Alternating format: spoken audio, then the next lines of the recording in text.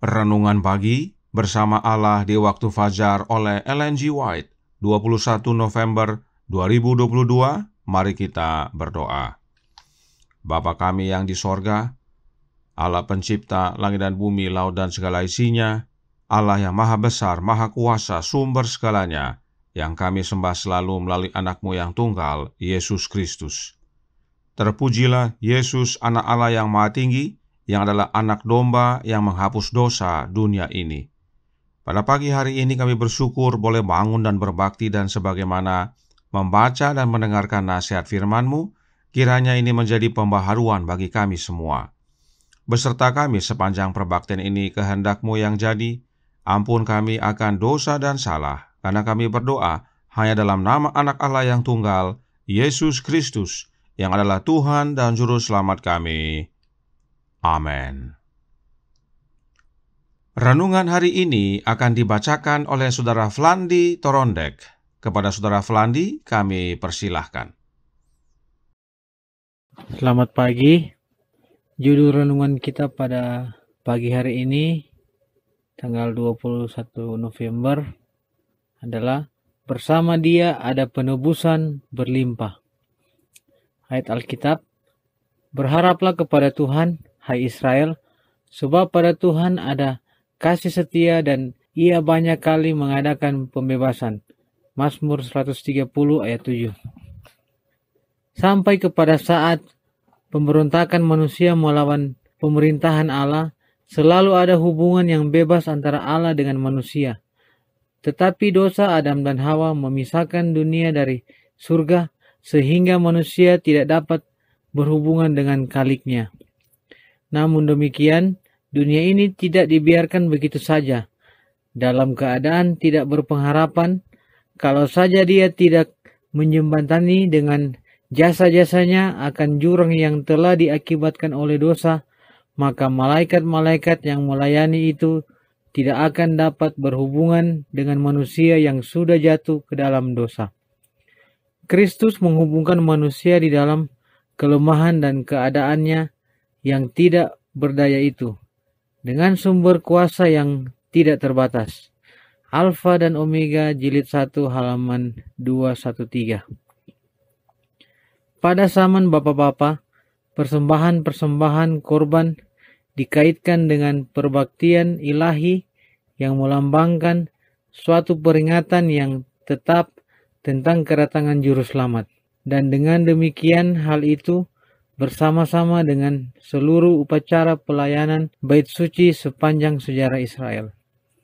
Dalam pekerjaan pelayanan kemah pertemuan dan dalam pekerjaan pelayanan di bait suci yang kemudian biasa dilaksanakan, orang banyak telah diajar setiap hari dengan perantaraan bentuk-bentuk dan bayangan.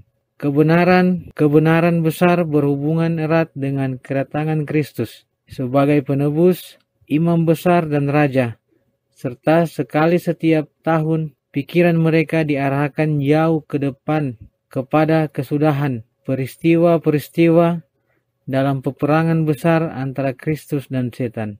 Penyucian terakhir semesta alam yang terakhir dari dosa dan orang-orang berdosa. Alfa dan Omega jilid 4 halaman 272. Mesias harus tersembunyi di dalam Allah, dan Allah harus dinyatakan di dalam tabiat anaknya. Tanpa pengetahuan akan Allah, manusia akan hilang selama-lamanya.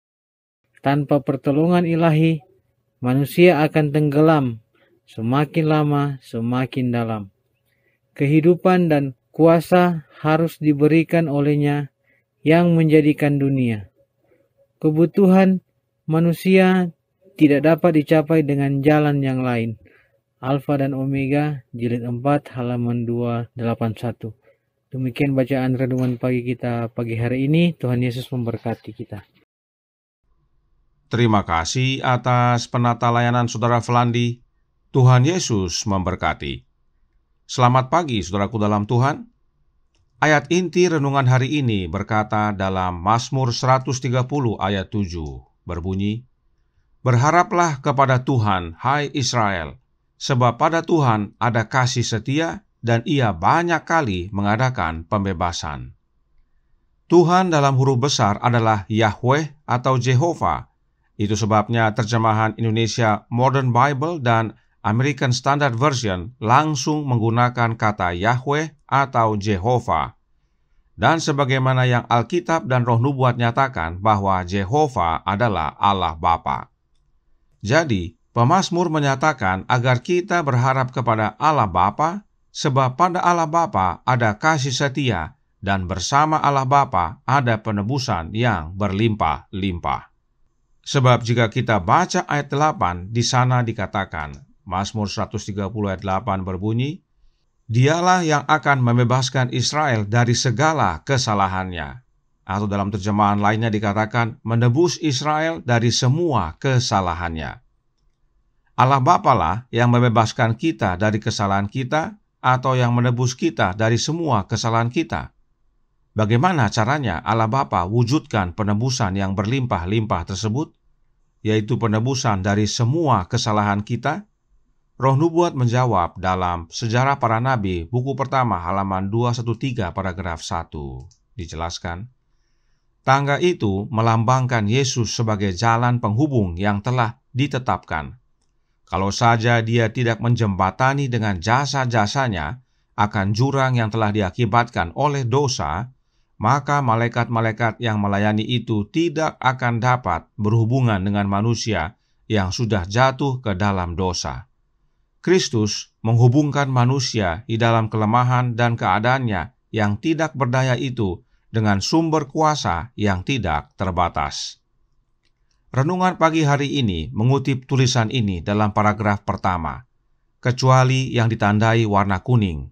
Padahal kalimat tersebut adalah intinya. Dia yang menghubungkan kita dengan Allah Bapa adalah Yesus Kristus, anak Allah. Sebab oleh karena dosa, hubungan manusia dengan Allah Bapa menjadi terputus, sehingga kita tidak dapat lagi berhubungan dengan Khalik kita. Tetapi Allah Bapa tidak tinggal diam. Dia sediakan jalan kembali, yaitu anaknya yang tunggal, agar kita dapat dipersatukan kembali dengan Allah Bapa yang adalah sumber kuasa yang tidak terbatas.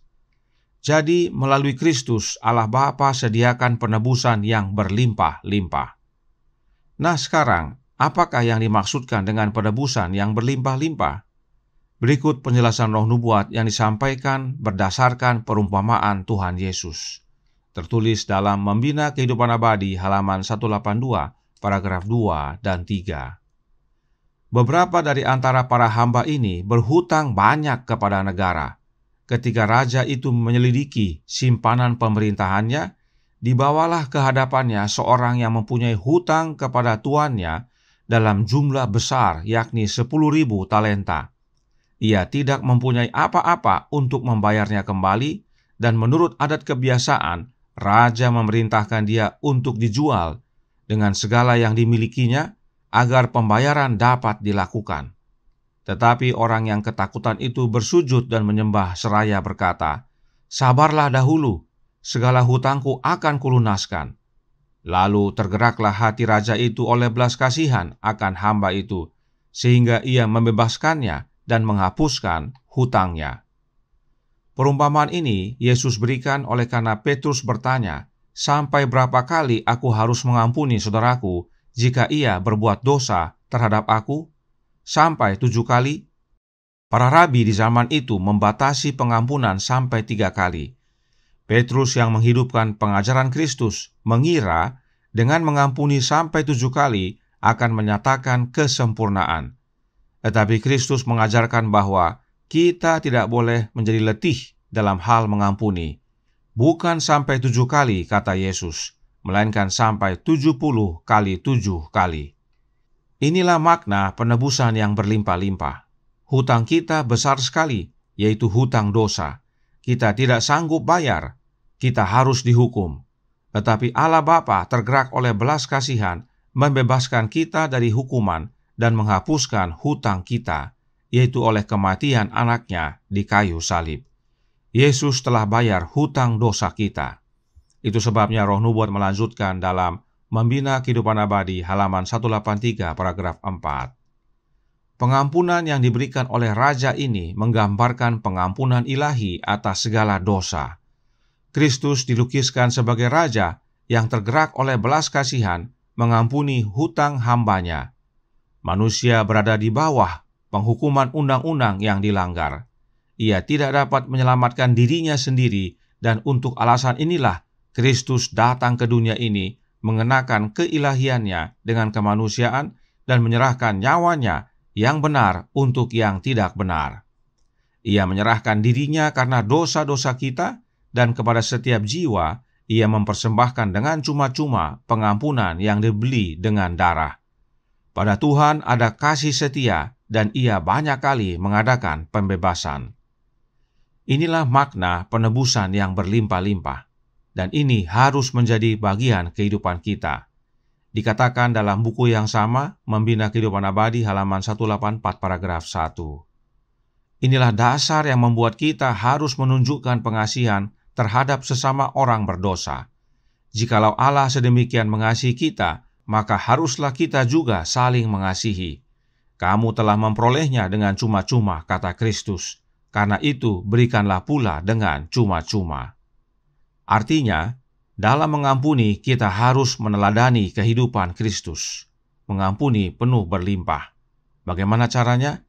The Home Missionary Februari 1 tahun 1892 paragraf 17 menjawab, Dia yang memiliki roh Kristus tidak akan pernah lelah mengampuni.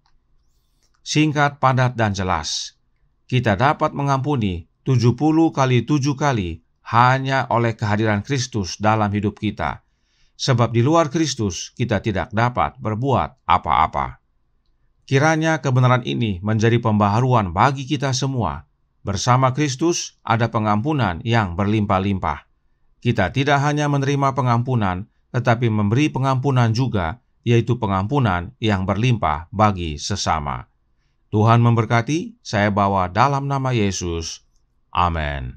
Mari kita berdoa. Bapa kami yang di sorga, dikuduskanlah namamu, datanglah kerajaanmu, jadilah kehendakmu di bumi seperti di sorga. Berikanlah kami pada hari ini makanan kami yang secukupnya, dan ampunilah kami akan kesalahan kami, seperti kami juga mengampuni orang yang bersalah kepada kami. Karena jikalau kamu mengampuni kesalahan orang, Bapamu yang di sorga akan mengampuni kamu juga. Tetapi jikalau kamu tidak mengampuni orang, Bapamu juga tidak akan mengampuni kesalahanmu. Dan janganlah membawa kami ke dalam pencobaan, tetapi lepaskanlah kami daripada yang jahat. Karena engkaulah yang empunya kerajaan dan kuasa dan kemuliaan sampai selama-lamanya. Amin.